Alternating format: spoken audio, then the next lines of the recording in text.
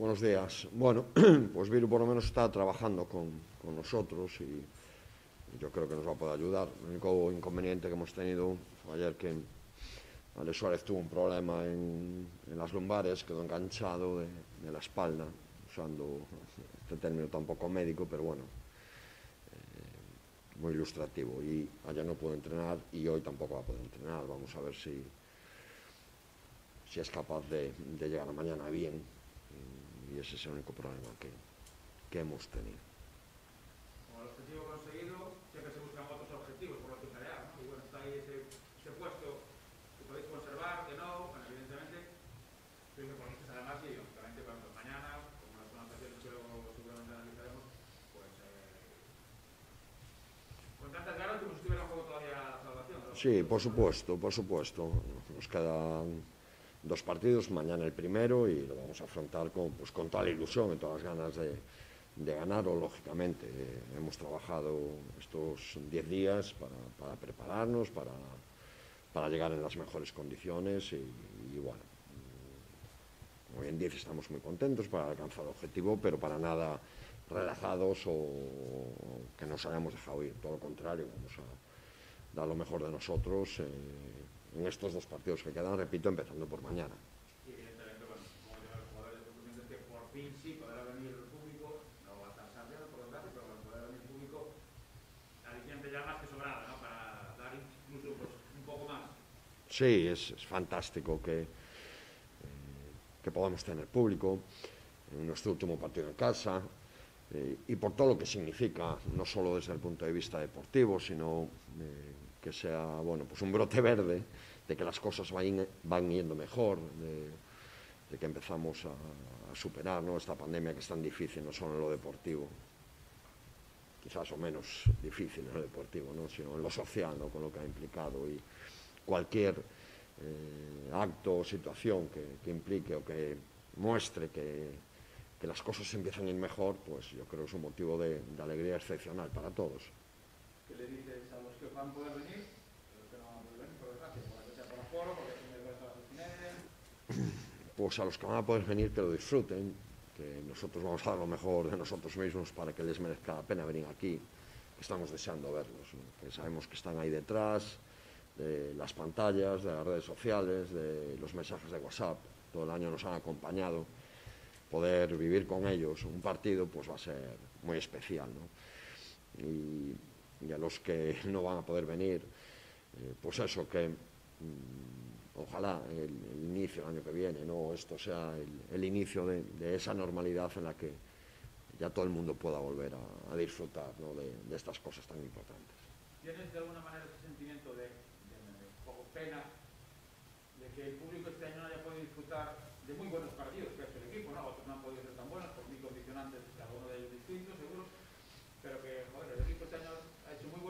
partidos y que seguramente mucha gente hubiera disfrutado un montón de, de este equipo este año, aquí directamente.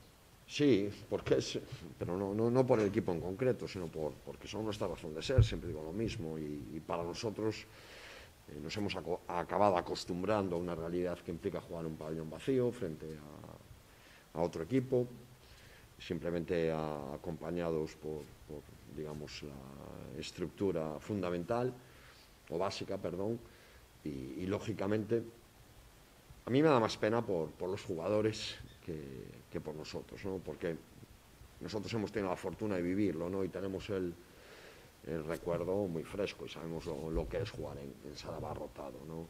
pero me da, me da pena por ese mate, ese triple, ese robo de balón, que no viene acompañado por el eco de, eh, de los aplausos del público, ¿no? por este sonido tan particular que siempre tienen los, los campos deportivos. ¿no? Y por ello sí que me da, me da un poco de pena que, que, no hayan vivido, no solo en vídeo, lo que significa escuchar mi udiño y lo que significa que te animes a cuando las cosas no van bien o cuando van bien. Eso es una experiencia que no te la pueden contar, ¿no? hay que vivirla.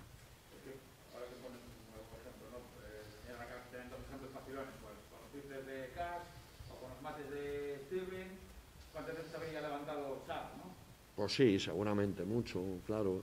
Habrán hecho, y me consta que es así, en los sofás de, casa, ¿no? Y, les hemos dado alegrías y les hemos dado algún disgusto, sin ningún tipo de duda, ¿no? Pero mm, es, una pena no vivirlo, ¿no? No vivirlo y no haberlo podido vivir, aparte de, de todos los otros condicionantes que implican para, para los proyectos el que no, el que no haya público, ¿no? Porque es un, un varapalo muy duro, repito, igual que es para el resto de aspectos de, de nuestra sociedad, ¿no? Que esto está afectando a, mucha gente, ¿no? Y, eso es lo, peor, ¿no? Pero bueno, si solo hablamos de, lo afectivo, pues lógicamente eh, me da pena por, por los chicos sobre todo.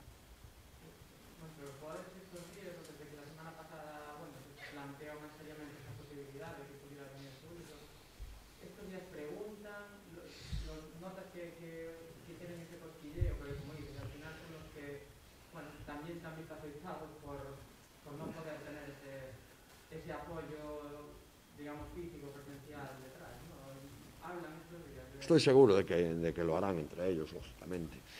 Pero, un poco como decía antes, yo creo que mañana, cuando vean a, a la gente que venga y que pueda venir, pues ahí es donde realmente lo van a, lo van a vivir, ¿no? Y van a sentir ese, ese cosquilleo, es lo que te decía, no, no es lo mismo que te lo cuenten que, sentirlo, ¿no?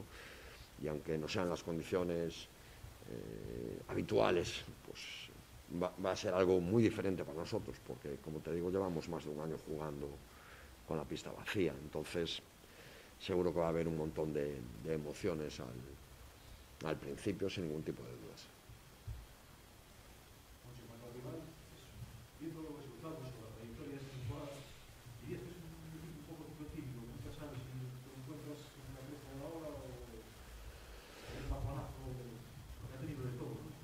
Bueno, yo creo que le ha pasado como a todos, ¿no?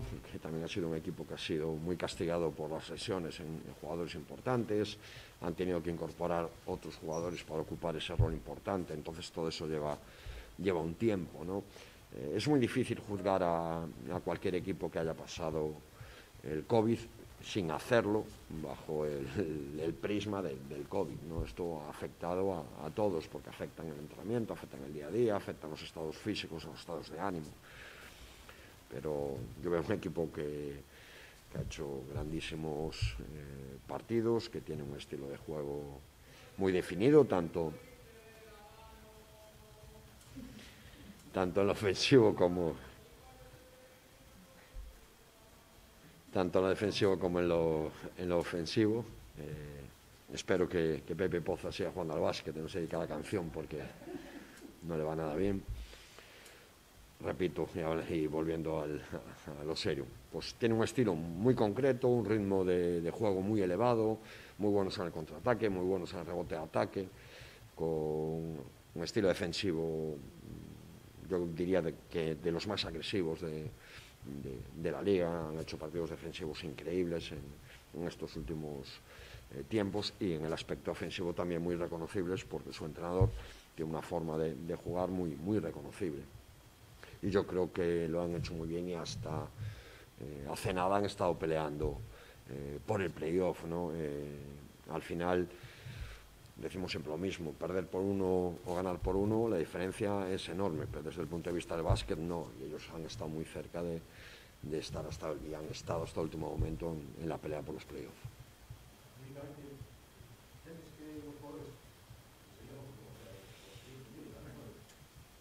tanta tensión eh,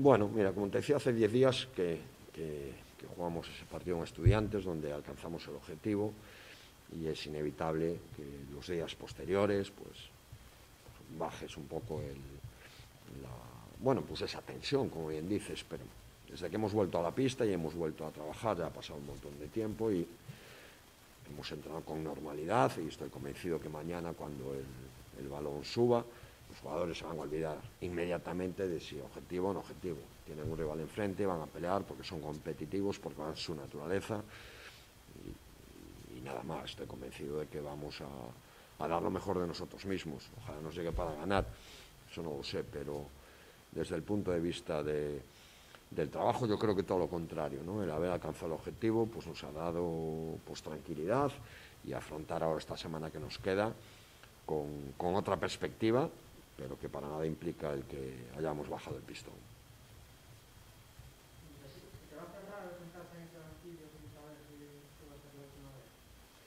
No, no, porque cuando esté sentado en ese banquillo mi única preocupación va a ser intentar dirigir al equipo, hacerlo lo mejor posible y, e intentar ganar el partido. Entonces, todos mis eh, bueno, sentimientos o todas mis alertas o todas mis atenciones van a estar centradas en el, en el, en el partido.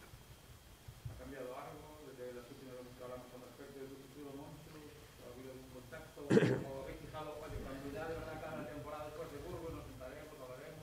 Pues no ha cambiado nada en el sentido de la última vez que hablamos de esto. Te dije que, teníamos que centrarnos en lo inmediato, centrarnos en el trabajo que tenemos que hacer y nuestro trabajo es eh, preparar el equipo para, eh, para jugar mañana eh, contra Murcia. ¿no? Y, nada ha cambiado en, en, ese aspecto. Pero yo creo que vosotros sabéis también como yo, llevo 11 años en el Obradoiro, es mi casa, mi relación con la gente de Obradoiro va más allá de lo profesional entonces,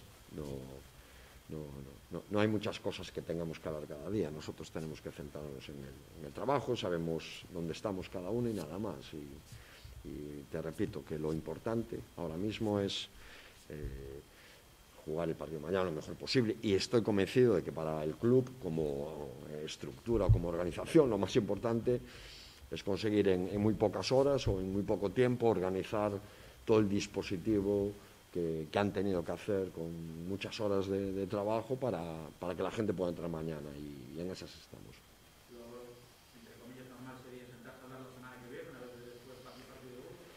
Cuando pasen los partidos, pues seguro que si es lo normal, como dice el principio de la navaja de Ocan, lo más normal suele ser lo evidente, pues seguramente pasará.